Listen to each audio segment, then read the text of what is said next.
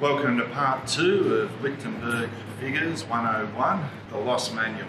Today we're going to be teaching you techniques, tips, tricks and completing a finished product. So stick around and let's go for it. Okay, so this is the project we're going to do today.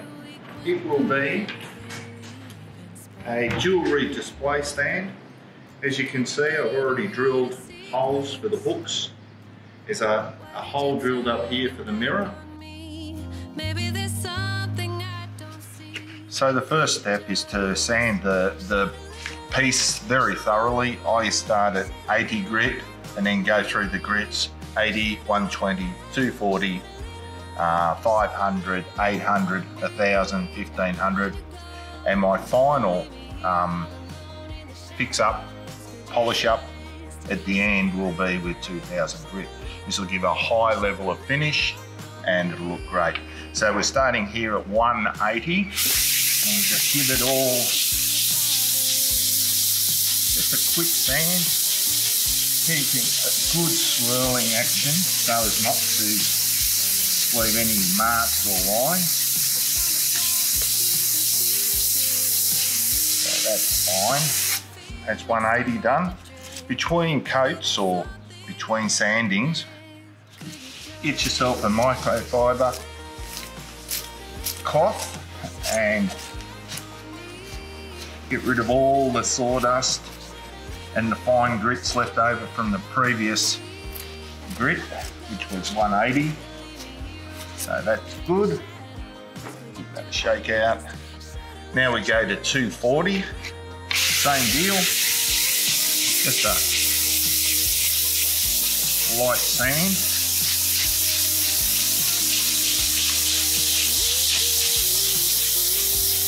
This has beautiful grain, this camphor laurel. Now the reason we're sanding this to this degree is for two reasons. One is it allows the electricity to go through the grain and give you a better burn. But more importantly, at the end, when you have all those fine tree-like, branch-like uh, figures going through your wood, when you put your final finish on, you don't have to sand as aggressively and therefore you don't lose any of that fine detail. So we're just gonna go through our grits now, 500, 800, 1000 and 1500, and then we'll go over and burn. So just before we get started with the burn, let's touch on some safety from the other um, episode. One, get rid of all jewellery that has metal, etc. in it. Take all metal off your, your person, including your belt. I'm not stripping in front of you guys, I'm just getting rid of that buckle. I don't want the electricity to go through the wood. I touch it, wham, I'm fried. So that's the first part. The second part, we'll need our Honeywell gloves to protect us. Here we are, we're standing on rubber matting. We've got our rubber mat back here. We're good to go.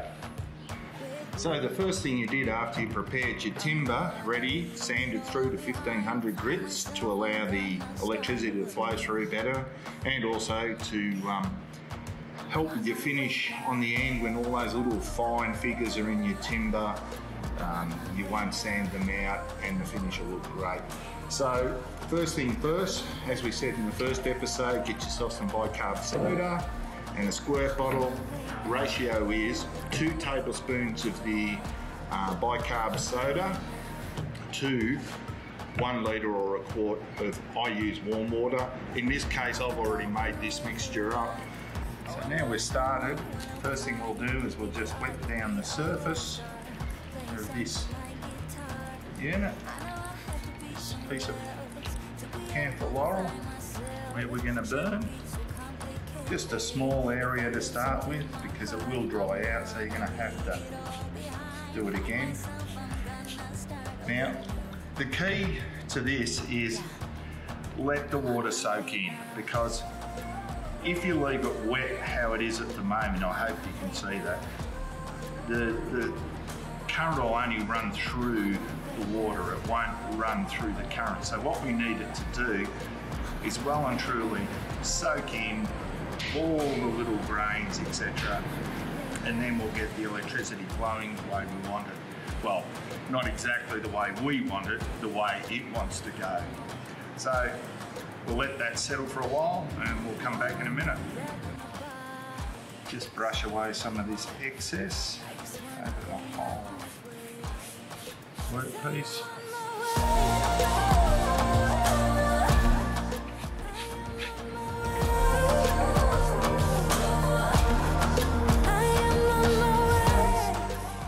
need, one thing I need to say prior to starting is never squirt the work when the electrodes are on or you're fried.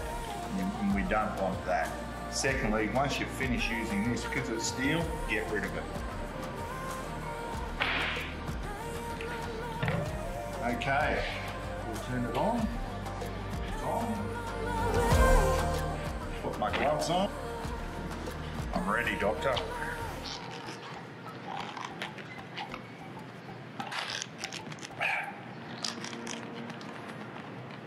Okay, we're set to go. First electrode, second electrode.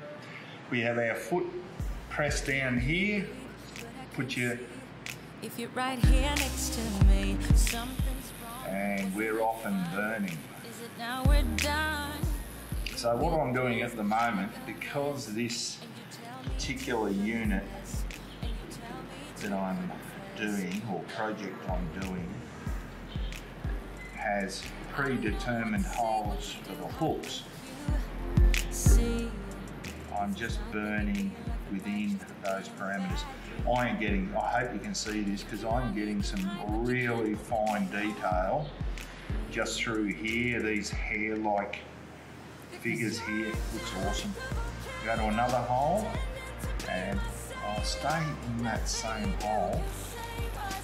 Now we're getting it going.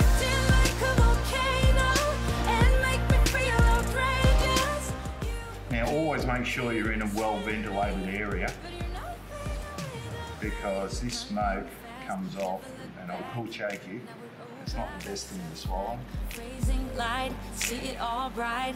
You were never right. Back to life. Apologize. Too soon to say I'm fine. Too soon to say I'm fine. Oh.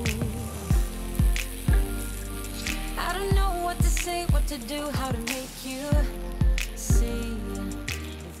You'll notice I move the electrodes around a lot. The reason I'm doing that is to keep up with the moisture as certain areas dry out, like down here.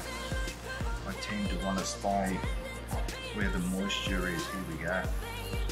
Get another nice burn happening out of that hole. So there's some really fine figures that are coming up. Later on I'll put a, a macro lens on and get you some nice fine details. That just joined up with that one. So now what's happening with this particular technique is the two have joined up and you should be able to see on the camera a real red glow. So what that's doing is making quite a deep crevice or channel, whatever you want to call it. Okay, turn that over. We'll move to our next one that's got some moisture and into that hole. So I'm getting quite a good burn, and the reason I'm getting a good fine burn with lots of hair-like fractal patterns, we'll call them, the, the wrong word, um, is because I sanded to 1500 grit. Most people don't tell you that, but believe me, having experimented with this over the last 18 months, two years, whatever it's been, I can tell you that that's the best way to get a good burn. Look at these patterns.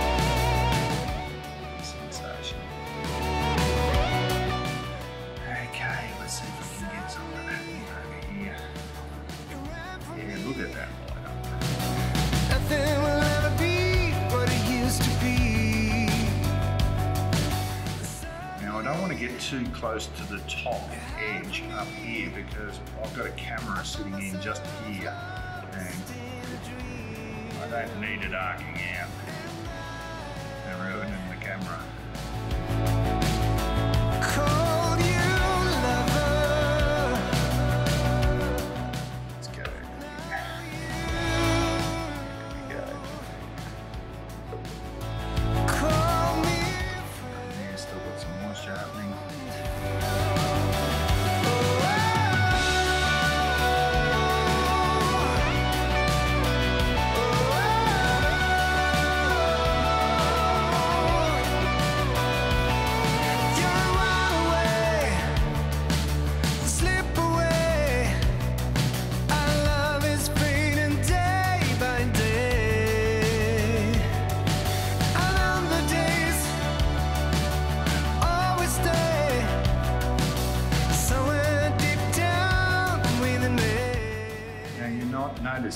Doing a full blown burn like most of these guys do with their microwave transformers and all those other dangerous things.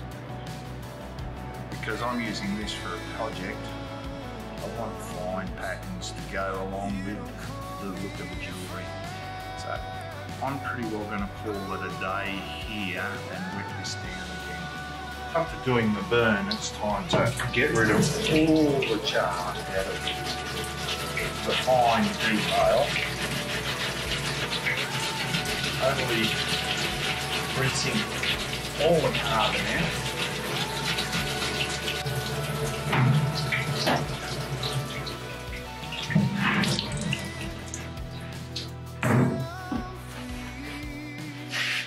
Okay, so now the, uh, the workpiece is quite dry after our scrub down. We've got rid of all the carbon residue. Now it's time to, as I said earlier, uh, we'll sand now 1000 grit and 1500 grit. Then we'll go to um, our finish and finish off with 2000 grit at the end. So we'll give this a light sand.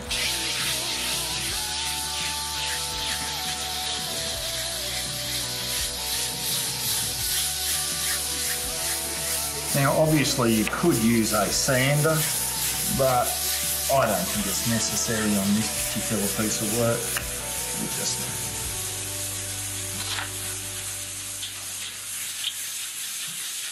wanting to smooth everything out.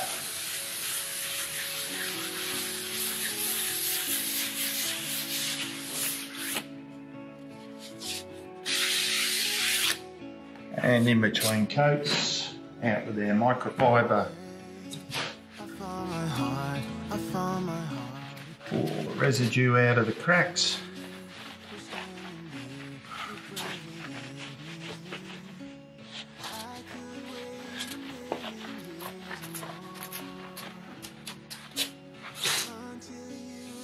So that's very smooth now. And now we go to our 1500.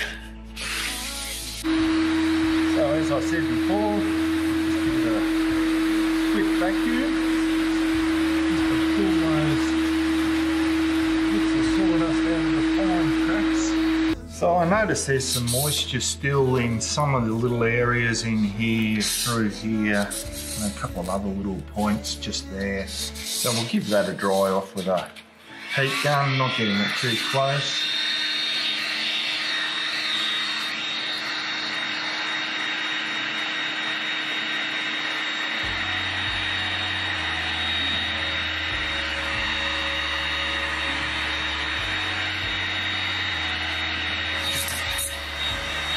We don't want our the water to ruin our finish. Uh, better to be safe than sorry and just dry it out as much as we can. So as I said, we'll uh, start to make our finish now, which is one quarter white shellac or shellac and um, three quarters uh, uh, methylated spirits. Handy little uh, pro tip. These are Choya Umi um, alcohol bottles. They're great. They have a, a lid that allows you to um, dispense your uh, your liquid when it's finished. Kid proof top, not, a, not my, the best look for me. Ah, we got it. Okay, three quarters of that. We're not making a great deal at the moment. And just shake.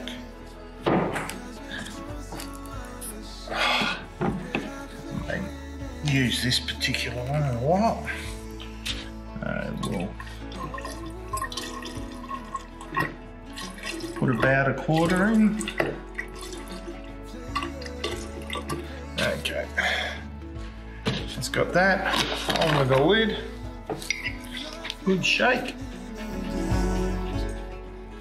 Now, we'll utilise this rag, just fold it up, and we'll make like a French polisher's rag.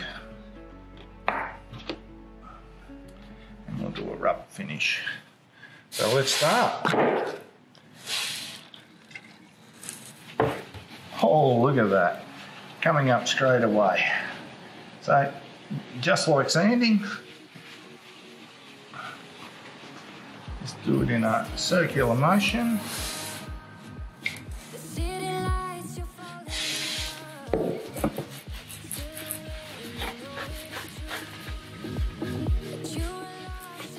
Now you could use a camel hair brush, but I find the rubbing's a lot better. You don't get those streaks in the um, coming out of the cracks.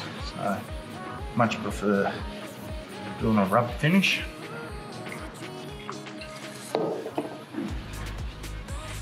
And the great thing about this finish is it dries basically instantaneously. Okay, we'll let that coat dry. I'll come back and give it a light sand and then give it another coat. In about two or three minutes, and the finish is now dry, I've got a new piece of um, 1000 grit sandpaper, and I've got my Rotex rotary sander, and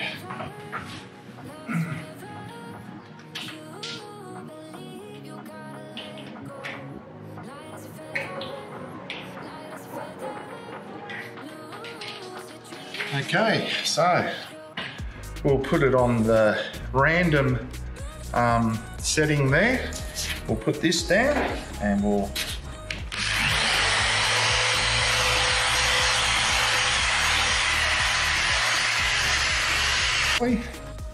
now find ourselves a new part of this cloth. Rotate it over and do the procedure again. Give our liquid a shake on with the cloth. And look at that pop. Yes, it's awesome. 1500 grit sander. It's going to apply a traditional wax polish now.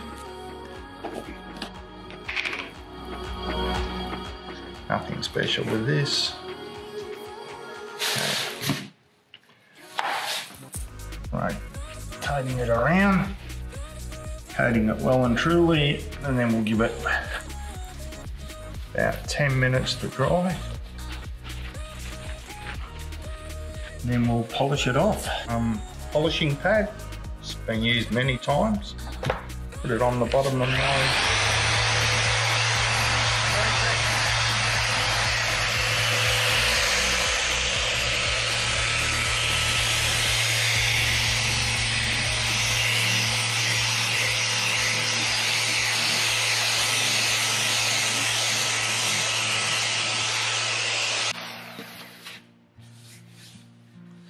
should feel that. That feels beautiful.